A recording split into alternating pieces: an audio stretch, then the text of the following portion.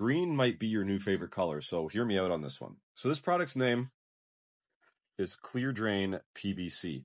Now, for the picture there, you can see that there is white slime and then no white slime. So I'm going to tell you what exactly this is.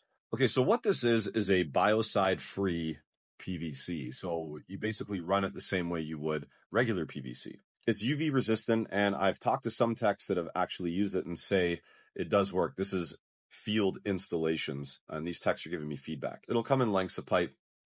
We got couplings. We've got the adapters for the drain pan. 45s, 90s, pre-made traps, but that doesn't stop you from building your own trap if your trap needs to be deeper type thing, right?